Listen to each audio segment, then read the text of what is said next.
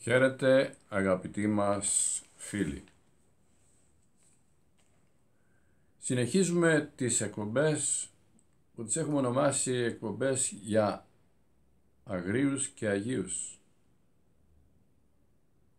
Και γιατί αυτό, γιατί κάθε άγριος κρύβει μέσα του και έναν Άγιο. Δεν θα λέγαμε το ίδιο βέβαια για τους Αγίους, ότι κρύβουν μέσα τους έναν άγριο.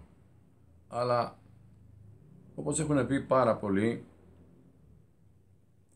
υπάρχει μεγάλο βάθος στην ανθρώπινη ψυχή, ατέλειωτο βάθος, το οποίο δεν μπορεί ο άνθρωπος, δεν μπορεί ο άνθρωπος να το αναζητήσει και να το βρει.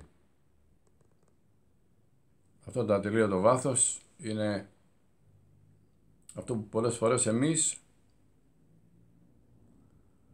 δεν το αναζητούμε και έτσι δεν γνωρίζουμε καλά τον εαυτό μας. Ο καημένος Σοκράτης προ Χριστού μας έδωσε να καταλάβουμε τι σημαίνει να μάθεις, να γνωρίσεις τον εαυτό σου.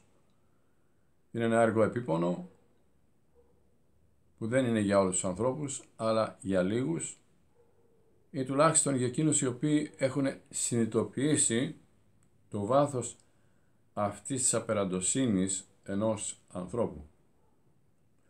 Αν δεν το έχουν καταλάβει, δεν το έχουν συνειδητοποιήσει, δεν το έχουν μέσα στα, να το πούμε, μέσα στο πεδίο της ερεύνης τους, αυτοί οι άνθρωποι θα ματοεπονήσουν, θα ταλαιπωρηθούν πάρα πολύ.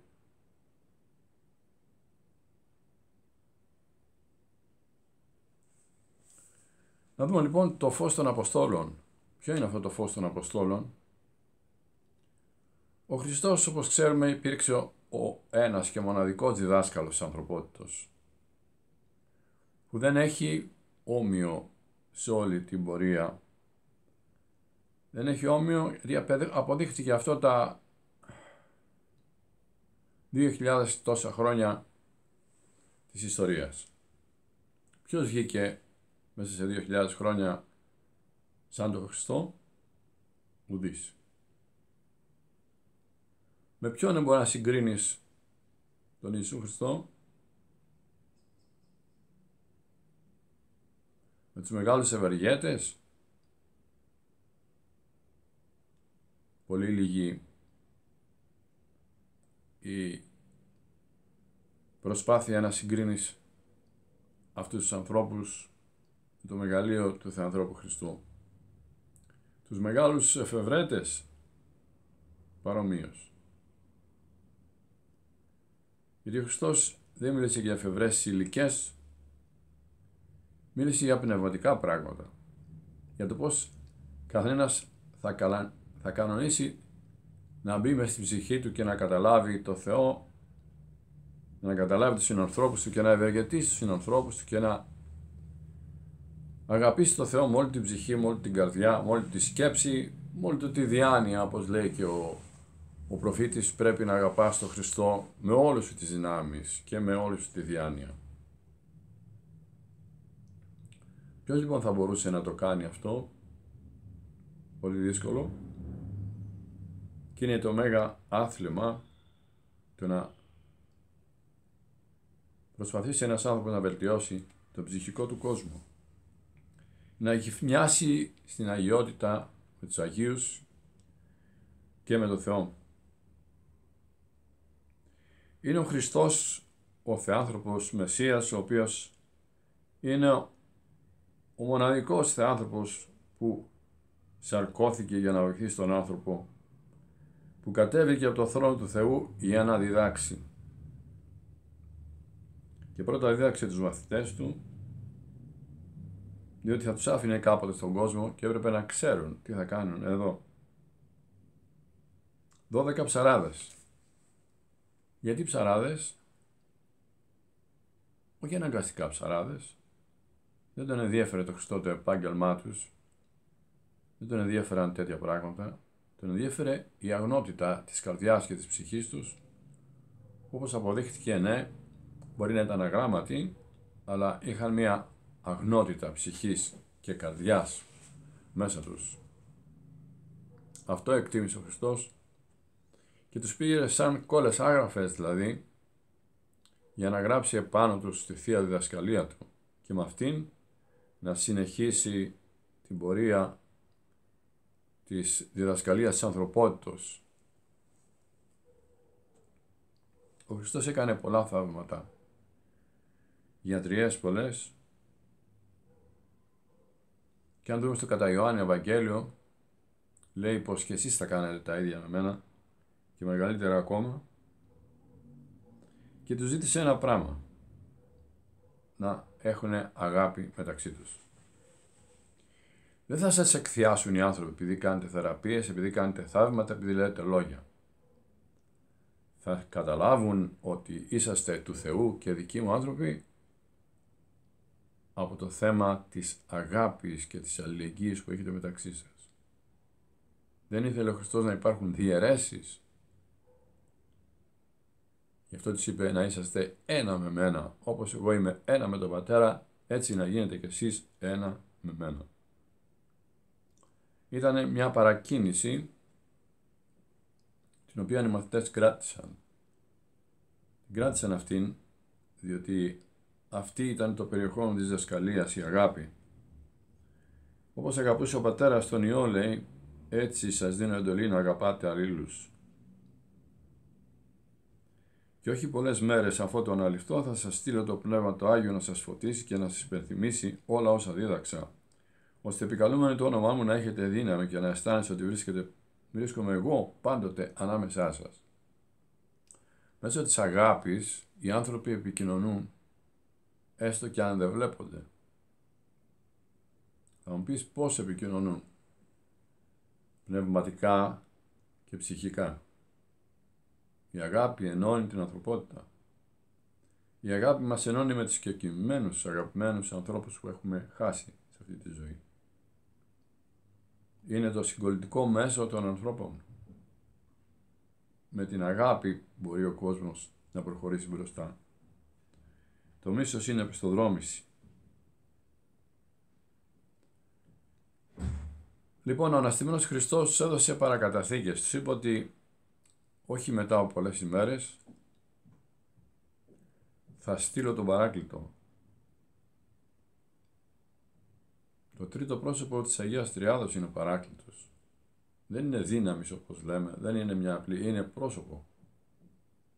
Ό,τι είναι ο Πατέρας και ο Υιός είναι και ο Παράκλητος. Άρα ο Χριστός φεύγοντας έστειλε τον Παράκλητο στον κόσμο. Γιατί, για να μην μείνουν ορφανοί οι μαθητές και σταθούν αυτή την ορφάνια. Πράγματι, όταν έλαβαν το Άγιο Πνεύμα, ένιωσαν πραγματικά ότι αυτή ήταν η επαγγελία που τους είχε δώσει ο Χριστός ότι θα σας τα υπενθυμίσει όλα θα με αντικαταστήσει τρόποντινά στη γήινη μου παρουσία. Θα έχετε μέσα σας αυτή τη δύναμη του Αγίου Πνεύματος. Και με αυτή τη δύναμη θα προχωρήσετε στο έργο της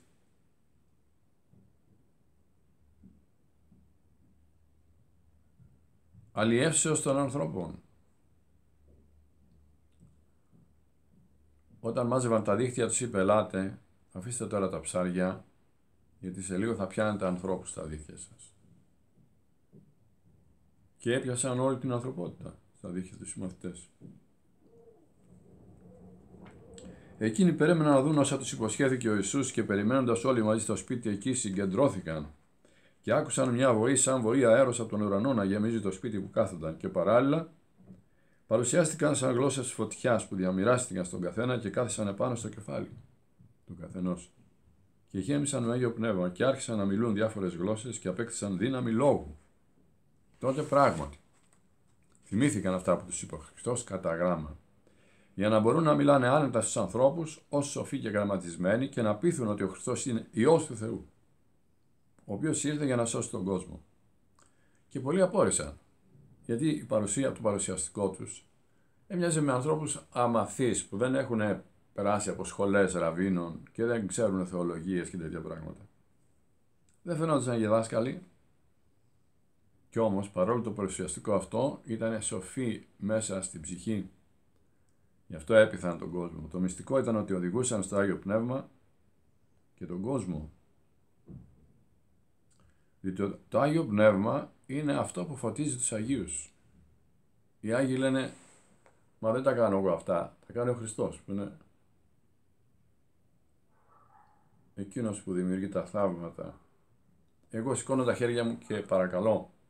Και από εκεί και πέρα ο Χριστός κάνει τα υπόλοιπα. Ο άνθρωπος παρακαλεί και ο Χριστός προσφέρει τις ευλογίες του. Ήταν πλέον θεοφώτιστοι οι Απόστολοι γι' αυτό και μπόρεσαν να διαδώσουν το χριστιανισμό στα πέρατα της γης, να διαδώσουν το χριστιανισμό. Άλλος πήγε στις Ινδίε και μαρτύρησε όπως ο Θωμάς και εκεί έκανε διάφορες χριστιανικές κοινότητες, ιδίως στην Δυτική Ινδία, που είναι κοντά δηλαδή σε εμάς προς την Ελλάδα. Άλλος πήγε στην Αχαία, στην Πελοπόννησο, ο Άγιος Ανδρέας, στους Κίθες και στους Πέρσες πήγαν, ο Απόστολος Παύλος ήρθε στην Ελλάδα. Ο Απόστολος Ιωάννης πήγε στη Συρία, την Αντιόχεια, τη Σάλδη, τη Μύρη, την Πάτμο, εκεί που έγραψε την αποκάλυψή του. Μιλάμε για τον Άγιο Ιωάννη, όχι τον ε, βαπτιστή. Όπως είπαμε λέγεται Μπαουτίστα στα Ισπανικά και νόμιζα ότι είναι ξεχωριστό όνομα αυτό. Κάποιος μου εξήγησε ότι Μπαουτίστα σημαίνει βαπτιστής από την ελληνική λέξη. Είναι ο Ιωάννης και έχουν πολύ το όνομα Μπατίστα εκεί. Ή, ή όνομα ή επώνυμο Μπατίστα. Είναι από τον Άγιο Ιωάννη το βαπτιστή αυτό το όνομα. Ο Απόστολος Πέτρος στην Ιερουσαλήμ και στο Ισραήλ ολόκληρο. Ο Λάζαρος ως Απόστολος αγίασε και δίδαξε στη Λάρνακα της Κύπρου. Στο Παρίσι, το Σεντενίζ, έχετε ακούσει για το Σεντενίζ αυτή τη λέξη σημαίνει Αγίος Διονύσιος. Τιμούνε με εκκλησία τον Άγιο Διονύσιο τον Αεροπαγίτη, ο οποίος έφτασε μέχρι το Παρίσι και δίδαξε τον Χριστό. Και εκεί εμαρτύρησε. Αυτά είναι όχι μέσα στο Ευαγγέλιο βέβαια, αλλά είναι μέσα στην ιστορία της Εκκλησίας μας. Αυτό που λέμε παράδοση, δηλαδή παραδείγματος χάρη, είναι η παράδοση της Εκκλησίας. Και είναι αληθινή η παράδοση γιατί είναι από ανθρώπους του Θεού γραμμένη, από Αγίους δηλαδή. Παραδείγματος χάρη τον Άγιο Αντώνιο δεν τον ξέραμε αν δεν τον έγραφε ο Άγιος Αθανάσιος. Ο Άγιος Αθανάσιος παρουσίασε τον Άγιο Αντώνιο. Ένας άλλος Άγιος παρουσίασε τον Άγιο Αθανάσιο. Και ούτω καθεξής. Έτσι η χωρία των Αγίων είναι ε, μια άλλη παρουσίαση των προηγουμένων Αγίων στους επόμενους Αγίους. Για το Μέγα Θανάσιο μιλάει ο Άγιος Βασίλειος.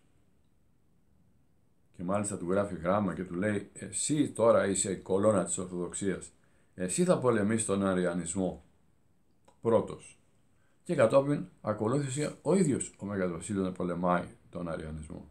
Και άφησε στο πόδι του και αυτούς ανάλογους, ανάλογους, ικανούς, Αγίους ο Μέγας Βασίλειος οι οποίοι συνέχισαν το έργο της εξαπλώσεως του χριστιανισμού και της αποφυγής των αιρέσεων.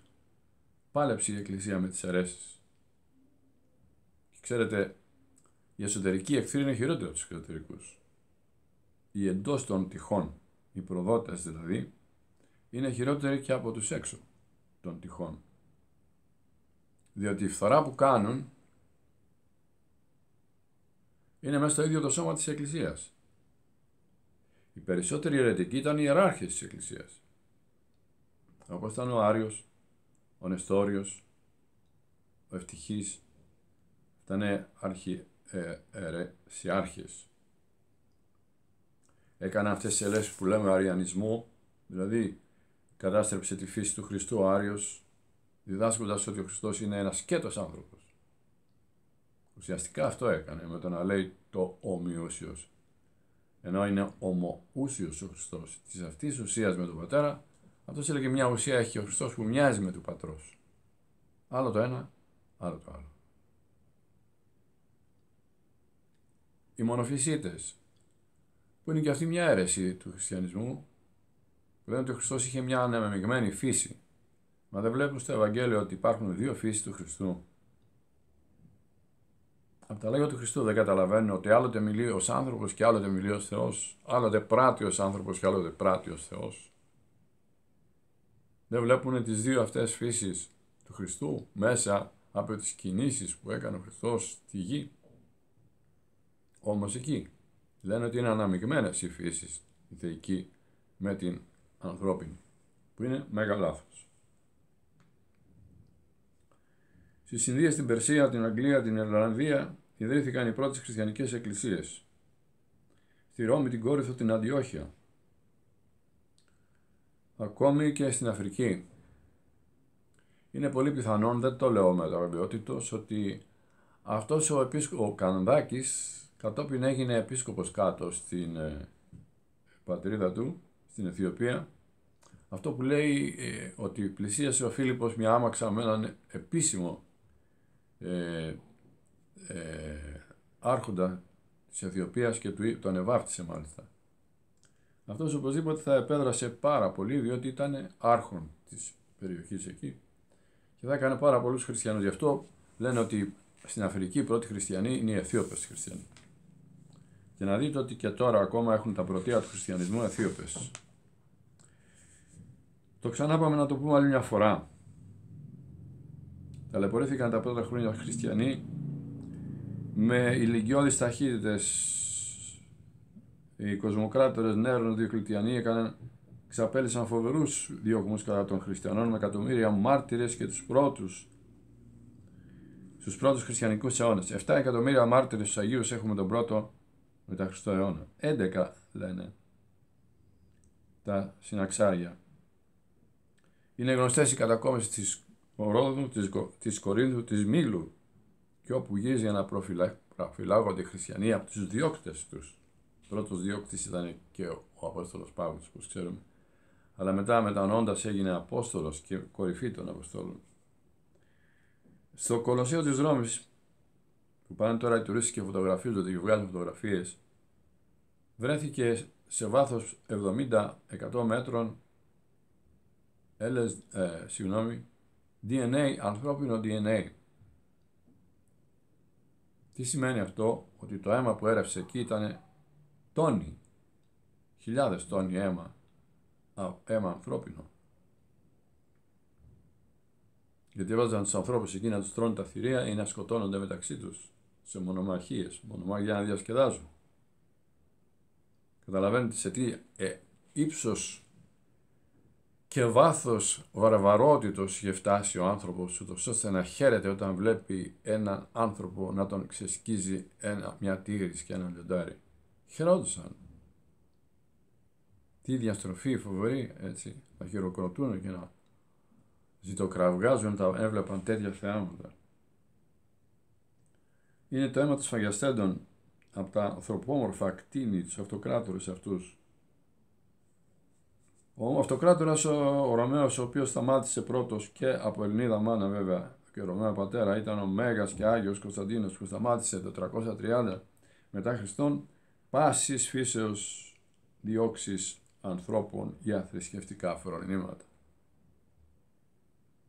Σταμάτησε τους θρησκευτικούς και πολιτικούς διωγμούς με διατάγματα που εξέδωσε ο ίδιος ως κοσμοκράτορας πλέον. Δεν ήταν ένας κοινός αυτοκράτορας. Ήταν αυτοκράτορας όλης της γης. Και στη Ρώμη ακόμα αυτός κυβερνούσε. Και στην Ανατολή, την Κωνσταντινούπολη και τις άλλες, όλες τις άλλες πόλεις. Και είδε το όραμα αυτό, αυτό που πιστοποιεί την αξία του, του ανθρώπου αυτού, όταν πριν από μια δύσκολη μάχη που ο στρατός απέναντι ήταν διπλάσιος από το δικό του, βγήκε έξω τη νύχτα από τη σκηνή και είπε Ιησού Χριστέ, αν είσαι ο Κύριος και Θεός όπως ισχυρίζονται πολλοί, δείξε μου και εμένα, δώσε μου ένα δείγμα τώρα που κινδυνεύω σε αυτή τη μάχη.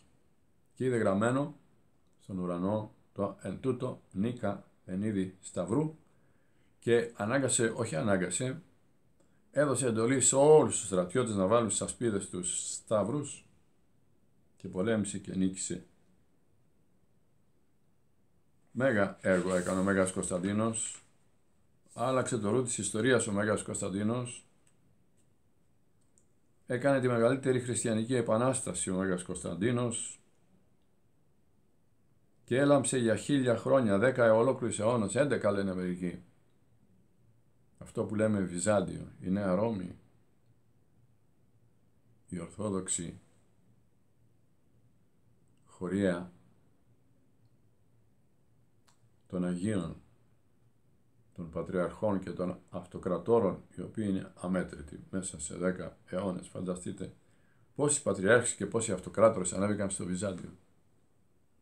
Αυτά δεν μπορούν να κρυφτούν στην ιστορία γιατί βγάζουν μάτι αυτά. Και αν δεν τα ακούμε είναι γιατί κατρακύλησε ο άνθρωπος σήμερα και κοιτάζει μόνο τα οικονομικά και όχι τα ουσιώδη της ψυχής πράγματα. Δεν έχουμε σήμερα ψυχικό πολιτισμό, πάσχουμε από ψυχικό πολιτισμό.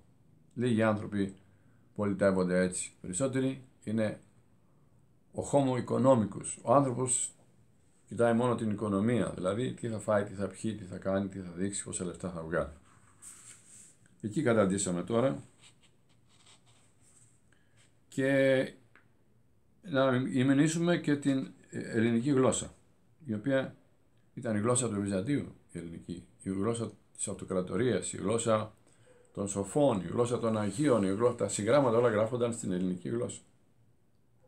Και πριν το Μέγα Κωνσταντίνο να έχετε υπόψη σας, ότι οι σπουδαίοι άνθρωποι της Ρώμης και της Ιταλίας έγραφαν στην ελληνική γλώσσα. Ο Κικέρον και όλοι αυτοί μελετούσαν τον Πλάτωνα, τον Αριστοτέλη, τον Σοκράτη και όλα αυτά. Δεν είναι τυχαίο λοιπόν ότι φτάσαμε σε αυτό το βαθμό ε, σε αυτό το βαθμό εξελίξεως τότε που ήταν περιζήτητος και λαμπρός για όλη την ανθρωπότητα. Δηλαδή ήταν ένας φάρος κυριολεκτικά που φώτισε όλο το αρχιπέλαγος του κόσμου. Το Βυζάντιο. Ένα Ισπανικό πανεπιστήμιο μετά από πολυετή έρευνε ανακάλυψε ότι η ελληνική γλώσσα έχει 1,5 εκατομμύριο λέξεις και 7 εκατομμύρια ρίζες λέξεων, δηλαδή βάσεις για να γεννηθούν νέες λέξεις. Φανταστείτε τώρα τι γλώσσα ήταν αυτή. Ανοιχτή, μαθηματική, επιστημονική, βαθιά, ανε, ανε, ανεξάντλητη. Τι σοφία έχει αυτή η ελληνική γλώσσα, δεν μπορεί να φανταστεί ο νέος του ανθρώπου. Το έχω πει πολλές φορές, ε, μου κάνει εντύπωση και το ξαναλέω. Η ηλικία είναι ομυρική λέξη και σημαίνει κυκλώνω τον ήλιο, γυρνάω γύρω από τον ήλιο. Δεν έξεραν τότε όλοι αυτοί που χαρτογράφησαν τον ουρανό Ήρθε ο Γαλιλαίος να μας πει ότι η γη γυρίζει γύρω από τον ήλιο. Αστείο πράγμα. Οι αρχαίοι Έλληνες γνώριζαν πάρα πολλά πράγματα, τα οποία εμείς ακόμα δεν τα έχουμε ερευνήσει. Να λοιπόν οι ξένοι που ενδιαφέρονται για την ελληνική γλώσσα περισσότερο από εμάς ακόμα. Είναι μια τεράστια δεξαμενή φθόγκων και λέξεων που πολλές γενναίες ανθρώπων έζησαν με αυτήν. Όχι μόνο οι Έλληνες, ούτε η ελληνόγλωση αλλά και η ξενόγλωση πήραν από αυτή την τεράστια πνευματική δεξαμενή που είναι η ελληνική γλώσσα πάρα πολλά στοιχεία. Μα δεν μπορεί να φανταστεί ο ανθρώπινος νους ούτε να καταγραφούν όσα χάρισε η ελληνική γλώσσα, τις έννοιες. Και δεν είναι τυχαίο ότι τα Ευαγγέλια γραφτήκαν στην ελληνική γλώσσα. Και όλα τα μεγάλα συγγράμματα όλοι οι τραγικοί που διδάσκονται στα πανεπιστήμια, ο Πλάτωνας και ο Αριστοτέλης, ε, ο Θοκυδίδης και όλοι ε, οι λόγοι της αρχαίας Ελλάδος έδωσαν φώτα και συμπληρώθηκαν τα φώτα αυτά με την έλευση του Κυρίου μας Ιησού Χριστού. Εδώ στη λεκάνη της Μεσογείου παίχτηκε η ιστορία της ανθρωπότητας. Αλλά να θυμόμαστε ότι ο Χριστός είναι θεάνθρωπος. Ρώτησα κάποιον, πιστεύεις στον Χριστό; Ναι, μου λέει. Πιστεύω. Λέω, τι πιστεύεις για τον Χριστό; Ήταν σπουδαίος, μου λέει. Λέω, ναι. Τον εξαίρει, λέω, το Ρενάν. Λέω, πιστεύεις στη θεότητα του Χριστού; Μου λέει, ε, όχι και θεότητα, μου λέει, άνθρωπος ήταν. Άνθρωπος ήταν. Και πώς αναστήθηκε όταν ήταν άνθρωπος. Ε, εσύ πιστεύεις, μου λέει, στην ανάσταση του Χριστού. Μα μόνο στην ανάσταση πρέπει να πιστεύουμε, του λέω. Η ανάσταση είναι εκείνη η οποία μας κάνει να είμαστε χριστιανοί. Δίκο στην ανάσταση, άδικο σκόπος. Δεν το ξέρουν οι άνθρωποι, δεν το καταλαβαίνουν αυτό. Ότι η ανάσταση είναι το κορυφαίο σημείο του χριστιανισμού. Δίχω ανάσταση δεν υπάρχει χριστιανισμό, ούτε Χριστός. Ο Χριστός γι' αυτό ήρθε, για να ελευθερώσει τον άνθρωπο από το θάνατο, από την αμαρτία που φέρνει το θάνατο. Η αμαρτία μας έριξε στο θάνατο. Άρα έπρεπε οπωσδήποτε να χτυπηθεί η αμαρτία. Και έτσι, με τον τρόπο αυτό που μας έδειξε ο Χριστός να εξομολογούμεθα τις αμαρτίες και να μην επαναλαμβάνουμε το κακό μας σε αυτό, πετυχαίνουμε πολλά πράγματα στη ζωή μας. Του λέω άδικα, του λέω, λες ότι πιστεύω στον Χριστό, γιατί αν δεν πιστεύεις στην Ανάσταση του Χριστού, μάταιος ο κόπος, αγαπητέ μου, του λέω.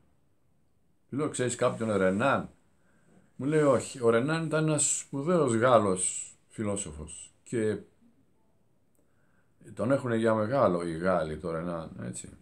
Και ποιητή και φιλόσοφο κλπ. Ενώ ο Γκό είναι ο ο, ο ογκόλυθος της Γαλλίας για μένα είναι ο Γκο. Ο ήταν και χριστιανός και λόγιος και σοφός και και και και. Και δάσκαλος της ανθρωπότητας. Ο Γκο. Διαβάστε τους αθλίους και θα δείτε τι περιεχόμενο και τι δύναμη έχει ο άνθρωπος αυτός μέσα στην ψυχή του. Αλλά, σας είπα, ήταν πρωτίστως χριστιανός ο Γκο. Λοιπόν, ο Ρενάν γράφει στην εισαγωγή του βιβλίου του σε κάποιο σημείο του βιβλίου του, εν πάση περιπτώσει, στην εισαγωγή, στο τέλος. Ιησού Χριστέ, είσαι ο πρίγκιπας της σοφίας. Ουδής άλλος είναι ανώτερος από σένα, ναι, στην ανθρωπότητα αυτή την πεζή. Εσύ είσαι ο πρίγκιπας της σοφίας, εσύ είσαι το α και το ω. Εσύ είσαι εκείνος που μας δίδαξες τι είναι το καλό και τι είναι το κακό. Κάτω από το σταυρό σου θα γίνονται μεγαλύτερες πνευματικές μάχες είσαι ο πραγματικός πρίγκιπας της σοφίας. Αλλά, προσέχτε, Θεός δεν είσαι.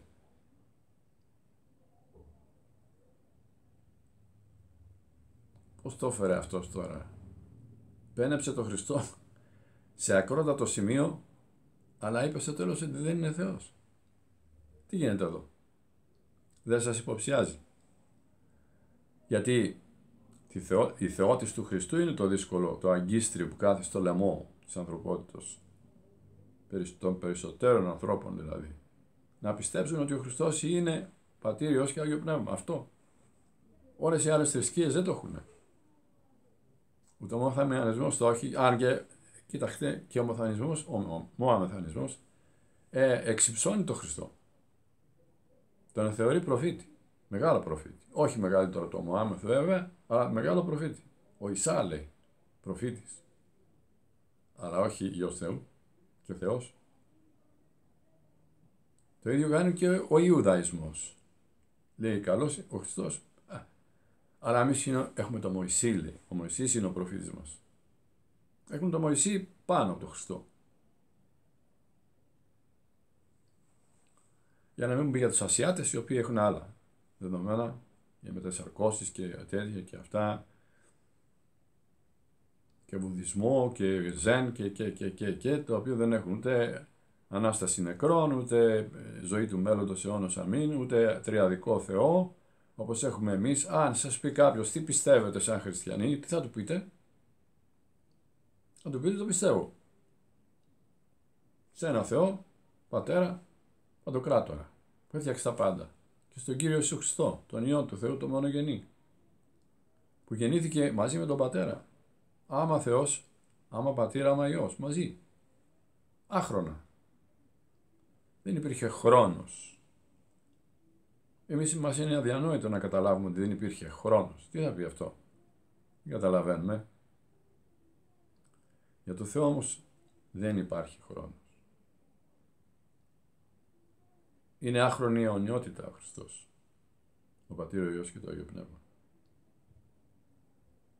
Τον Υιόν του Θεού το μονογενή, δεν έχει άλλον. τον εκ του πατρός γεννηθέντα προπάνω των αιώνων. Φως εκ φωτός. Πώ είναι το φως που ανάβει το ένα φως το άλλο. Έχεις δύο κεριά, ανάβεις τη δύο κεριά, τρία κεριά. Το ίδιο φως είναι. Το ίδιο φως. Μια απλοϊκή αναπαράσταση της Αγίας Τριάδος, τα τρία κεριά. Θεός αληθινός εκ Θεού αληθινού, γεννηθέντα, οποιηθέντα, ομοούσιο το πατρί. Ομοούσιος έγινε μάχη της Εκκλησίας εκεί πέρα για να δοθεί η λέξη ομοούσιος στο πιστεύω. Της αυτής ουσίας με τον πατέρα. Ο μοναδικός που έχει την αυτή ουσία. Γιατί ένας μου είπε, Εγώ δεν είμαι ομοούσιος με τον πατέρα. Λέω και εσύ Χριστός είσαι. Ένας ομοούσιος υπάρχει με τον πατέρα.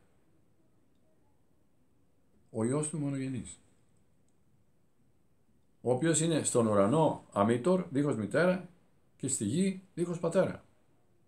Δεν έχει γίνει ο πατέρα ο Χριστός. Ο πατέρας είναι το Άγιο Πνεύμα. Έτσι της είπε ο Αρχάγγελος. Από το Άγιο Πνεύμα θα σε επισκιάσει και θα γεννήσεις. Λοιπόν, και στο Πνεύμα το Άγιο λέμε μετά. Λέμε ότι σαρκώθηκε ο Χριστός από τη Μαρία την Παρθένο. Λέμε ότι πέθανε στο Σταυρό, ότι αναστήθηκε, ότι αναλήφθηκε, ότι κάθισε στα δεξιά του Πατρός και πάλι θα έρθει με τα δόξης, κρίνε ζώντας και νεκρούς σου της βασιλείας σου και στο τέλος. Έτσι λέμε στο πιστεύω. Πώς θα καταλάβει ο άλλος, αν δεν του πούμε το πιστεύω, τι έχουμε εμείς οι χριστιανοί και πόσο διαφέρουμε από τα άλλα, τα λεγόμενα εντός εισαγωγικών θρησκεύματα, τα οποία είναι εφευρέσει ανθρώπινες, ξέρετε. Μία, μία εξαποκαλύψεως θρησκεία υπάρχει που μερικοί δεν θέλουν και το όνομα θρησκεία, αλλά είναι, όντως. Γιατί το λέει και το Ευαγγέλιο ότι είναι θρησκεία. Αν κοιτάξετε τις επιστολές του Ιακώβου, λέει θρησκεία το Ευαγγέλιο. Ε, μερικοί κουλτουριάριδες, άμα πεις τη λέξη θρησκεία για τον χριστιανισμό, σκίζουν τα ρούχα τους. Ε, σιγά ρε παιδιά. Σιγά. Πότε την πούμε φιλοσοφία, πίστη, αποκάλυψη. Ναι, είναι. Αποκάλυψη είναι. Αποκάλυψη από τον ουρανό που ήρθε ο Χριστός και αποκαλύφθηκε. Αλλά και μας έδωσε πράγματα τα οποία δεν ήταν γνωστά να καταλάβουμε τι γίνεται στον κόσμο, έτσι. Αλλά μου φαίνεται ότι τράβηξα πολύ το, το θέμα. Να πούμε για την, λίγα για την ελληνική γλώσσα, αλλά στην επομένη μας ε, εκπομπή για την ελληνική γλώσσα, για τον υπιοβαπτισμό, για τον Μέγα Αλέξανδρο και τον ε, πνευματικό του πατέρα τον Αριστοτέλη, όταν είπα Μέγας Αλέξανδρος ότι ο πατέρας μου, ο Φίλιππος μου έδωσε τη ζωή, την ζυγίνη ζωή, ο άλλος όμως μου έδωσε την ψυχική ζωή. Λοιπόν, για τότε ήταν έτσι τα πράγματα. Λοιπόν, ε, θα τα πούμε και στην επόμενη μας εκπομπή. Πρώτα ο Θεός, αν θέλει ο Θεός, θα ξαναβρεθούμε στην επόμενη εκπομπή να συζητήσουμε για αυτά τα θέματα τα οποία μας αφορούν εμάς, τους χριστιανούς, να γνωρίζουμε και να πράττουμε. Και γνώση του χριστιανισμού και πράξη χρειάζεται όχι μόνο γνώση. Μερικοί ακούνε από το πρωί μέχρι το βράδυ πειραϊκή εκκλησία και διαβάζουν βιβλία, καλά κάνουν. Αλλά να εφαρμόζουν αυτά που ακούν. Αν δεν εφαρμόζεις αυτά που ακούς, μηδέν. Τίποτα. Είναι ένα πουλί με ένα φτερό, δεν πετάει αυτό. Πρέπει να έχει δύο φτερά για να πετάξει. Μέχρι εδώ για σήμερα να είστε καλά, μέχρι την επόμενη μας εποχή. Ε, συνάντηση, όποτε είναι αυτή. Και ο Θεός να μας φυλάει όλους. Χαίρετε.